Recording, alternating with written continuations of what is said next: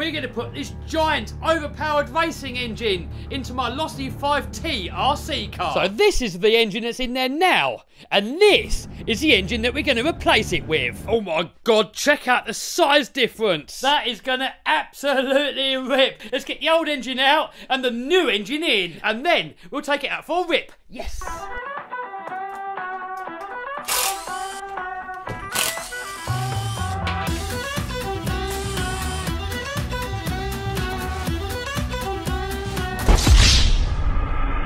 Oops. Oh no, I broke that off of there. No big deal now, because we put in a new engine, but this engine is going to go into this, a DBXLE, whatever it's called, petrol gas. Now that the engine is out, we can really see the size difference. My God, that is a monster. So this being a much bigger engine means it's got a lot more power, which means we can gear up and put on a bigger pinion gear and a smaller spur gear. What that's going to do is overgear the car and spin the wheels even faster.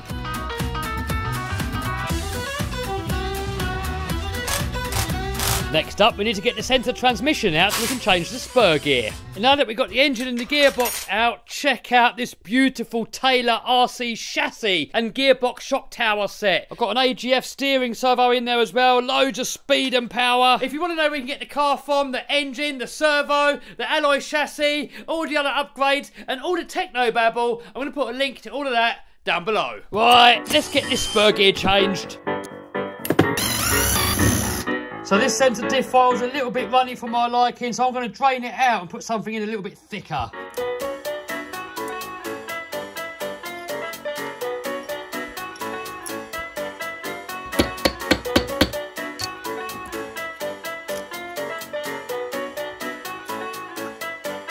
So here I'm putting in some thicker diff fluid and it should make the centre diff a lot more stiffer. What was happening before was the front wheels were just ballooning, all the power transferring through the diff and going to the front wheels. Now we should get a more even drive.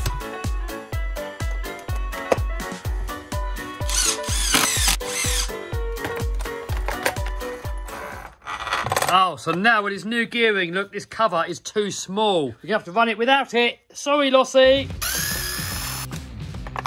Oh, look, and it's still catching on this piece here. Beautiful!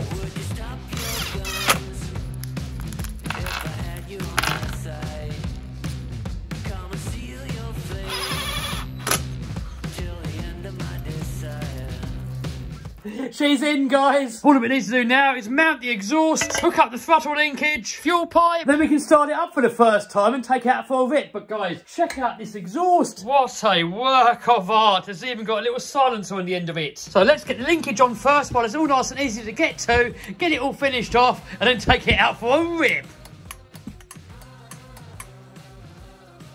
Oh, it doesn't fit, but no big deal. We have drill bits.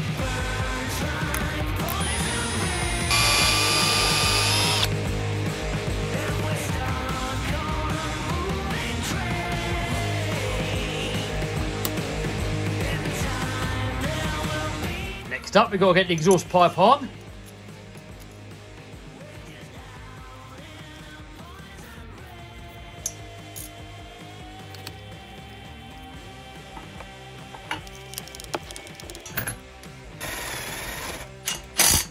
All that is left to do now is to put some air filter on onto the filter, fit the filter, and then we can get some fuel into the engine, see if it will run.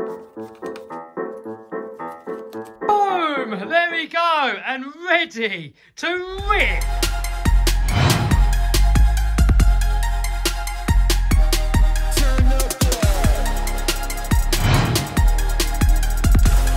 And look at that with a body on. It all only just fits perfectly inside. This thing is just too nice to want to use. The only thing that lets it down really is his tatty old body.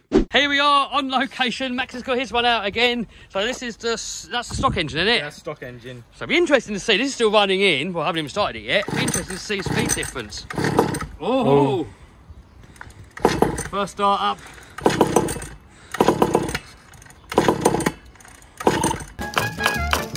Come on, pull it. What we done there? I broke my leg.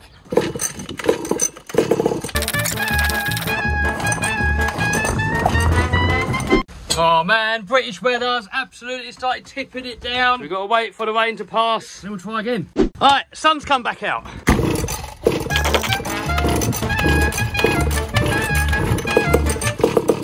Oh, oh, oh, oh! Oh, oh we're on, we're on! Oh.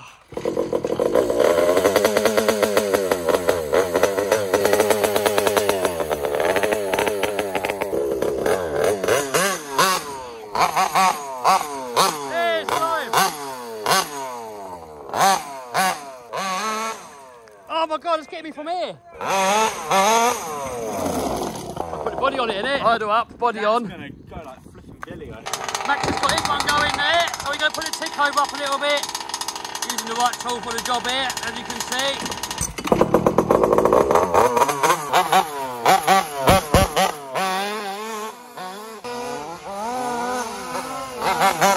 Ready, steady, go! Man, once we start leading that off, that's going to get a lot faster. Ah.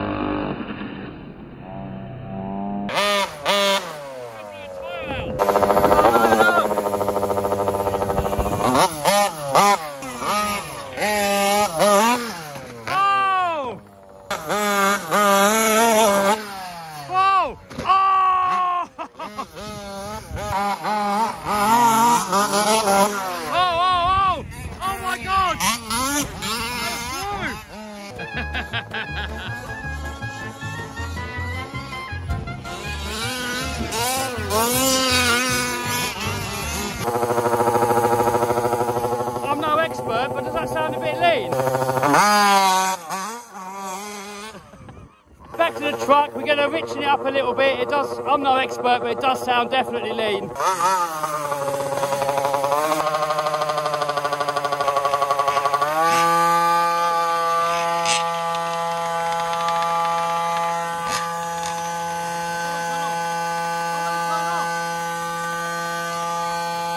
It won't turn off. I can't. I think what happened here, the engine got so hot that it's running even with the kill switch activated. We cannot kill the engine. It's just running off of pre-ignition or something.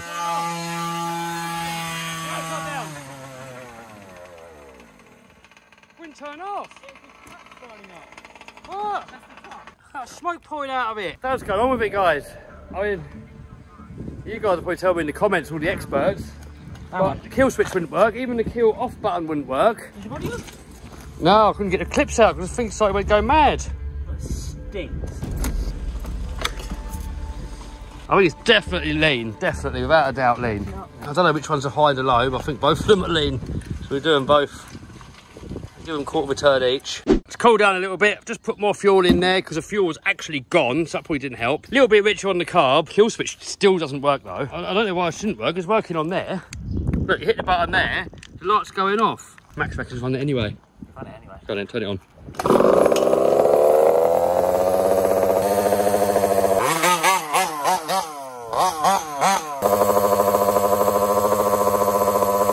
We've got loads more smoke now. It's sounding more happy.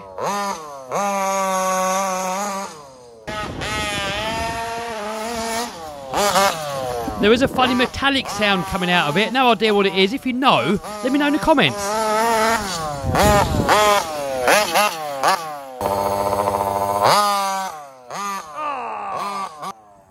Lovely jubbly. Oh, well, run away.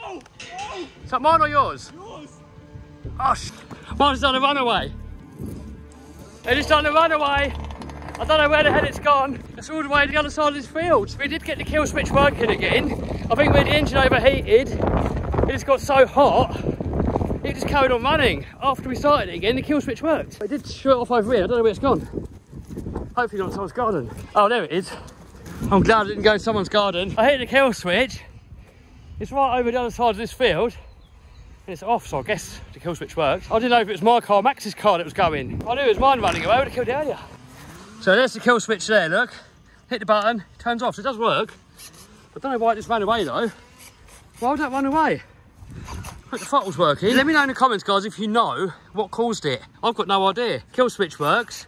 The throttle's all working. Why would it do a runaway? Anyway, next video, we're going to put some different tyres on it. We're going to keep running it in. I want to really bash it properly, take it skate park, jump it, get it running nicely with better wheels. So let me know what you want to see. Next video with this car, that's what we're going to do. I've just noticed we've bent the chassis a little bit. I think that was when we hit that mound, it landed right on the back.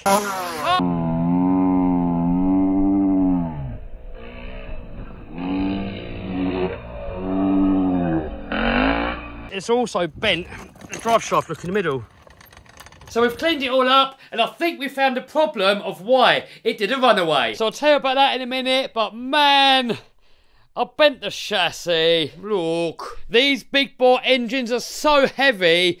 People that fit them don't really bash these cars. They just burn them across fields and go really fast. My goal with this was to look after it, and I kind of got carried away. Once the engine's running, I get all trigger happy. Um, I, I, I couldn't resist it. It went to the moon and the way that landed right on the rear end you got all that weight from this crazy heavy engine coming down on that chassis bent it. I'm gutted. This chassis is beautiful. Well, it was beautiful. And I really didn't really treat the engine properly. I'm not an expert when it comes to running these. I'm pretty sure I let it run lean. It got crazy hot. Really doesn't do these engines any good. Somehow it still works. God knows how. I just can't have nice things, can I? Anyway, for what caused the runaway? I think I had it set up wrong. So there we go. Radio on. Throttle is closed. But if I turn the radio off to simulate it going out of range, watch what happens here.